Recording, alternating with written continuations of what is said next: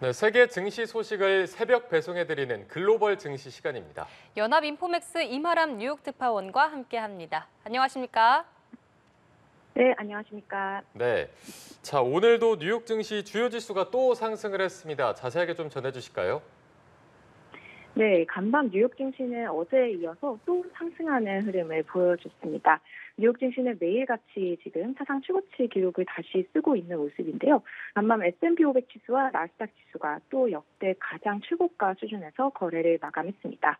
어, 특히 나스닥 지수가 오늘까지 7거래일 연속으로 사상 최고치 기록을 썼고요. 어, 뿐만 아니라 S&P 500 지수도 2거래일 연속 사상 최고 종가를 다시 한번 썼습니다. 간밤 다우지수는 전일보다 0.15% 상승 마감했고요. S&P 500 지수와 나스닥 지수는 각각 0.25%, 0.03% 상승 마감했습니다. 네, 특히 엔비디아가 눈에 띄는데요. 엔비디아 주식 무슨 일이 있었던 겁니까? 네, 어, 엔비디아 주식 또다시 어제 간밤에 역사를 썼습니다. 엔비디아가 세계에서 가장 가치 있는 기업이 됐기 때문인데요. 간밤 뉴욕 증시에서 엔비디아 주가가 3.5% 이상 상승하면서 뉴욕 증시 시가총액 1위 자리를 탈환했습니다. 어, 역사상 처음 있는 일이고요. 마이크로소프트와 애플을 제치고 뉴욕 증시의 대장주로 올라서게 됐습니다. 간밤 엔비디아의 시총이 종가 기준으로 3조 3,350억 달러 가량을 나타냈는데요.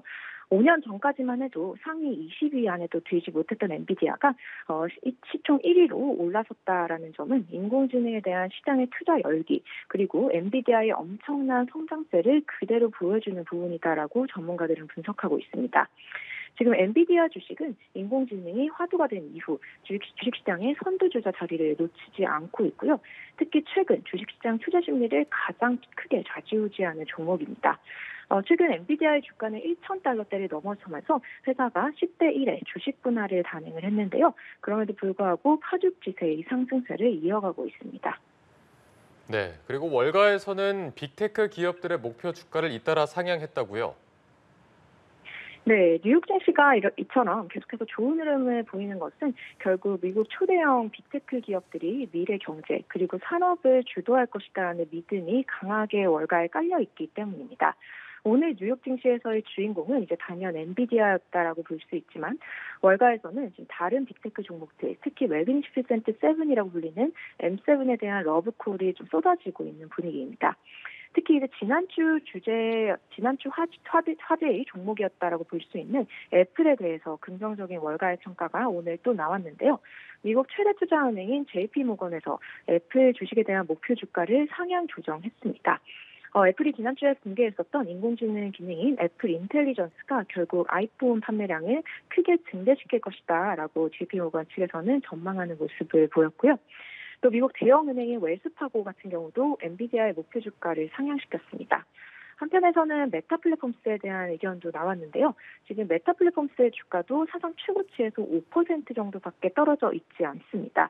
그렇기 때문에 조만간 차트상 주가가 급등할 수 있는 여지가 보인다라는 전문가의 분석도 전해졌습니다. 네, 그런가 하면 미국 소매 판매 지수가 나왔습니다. 이를 포함해서 오늘 나온 미국 경제 지표도 정리해 주시죠. 네, 오늘 미국의 5월 소매 판매 지표가 발표가 됐습니다. 이번 주에 가장 주목받는 경제 지표였는데요.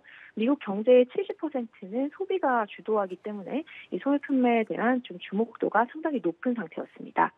어, 숫자를 살펴보면요. 미국의 5월 소매 판매 지표는 전월 대비 0.1% 증가했습니다.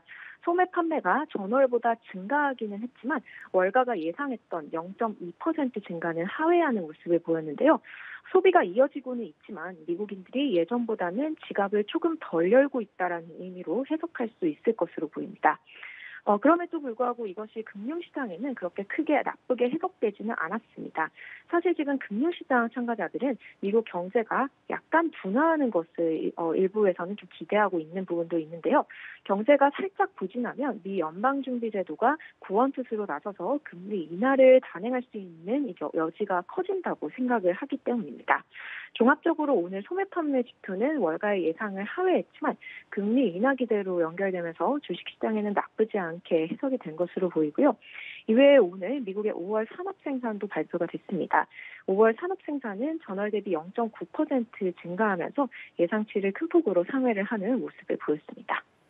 네, 지금 전해주신 지표만 보면 일단 금리 인하 기대감이 조금은 커졌다고 볼 수 있을 것 같은데 미 연준의 금리 전망 어떻습니까? 네, 오늘 기준으로 미국 어, 시카고 페드워치에 따르면 금융시장 참가자들은 올해 9월에 연준이 첫 금리 인하를 단행할 가능성을 60%가 넘게 반영을 하고 있습니다.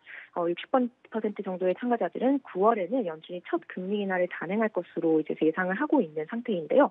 어, 이런 관측이 이어지는 와중에 오늘 많은 연준 관련 인사들이 공개 발언에 나섰습니다. 지금 연준 위원들은 금리 전망에 대해서는 각자 다른 견해를 좀 보이고 있는데요. 그럼에도 불구하고 대부분 위원들은 금리 인하를 하기 위해서는 조금 더 인플레이션이라든지 고용 데이터를 봐야 된다라는 신중론을 피력하고 있습니다. 어, 여러 위원들의 발언 중 주목되는 발언 두 가지가 있었는데요. 우선 세인트루이스 연은 총재는 연준이 금리를 인하하기 위해서는 몇 달 혹은 분기까지도 걸릴 수도 있다라는 이런 약간 보수적인 의견을 보였지만 반면에 아드리아나 쿠글러 연준 이사 같은 경우는 올해 안에 금리를 완화하는 것, 정책을 완화하는 것이 적절하다라고 밝혔습니다. 네, 지금까지 연합인포맥스 이마람 뉴욕 특파원과 함께 글로벌 증시 상황 알아봤습니다.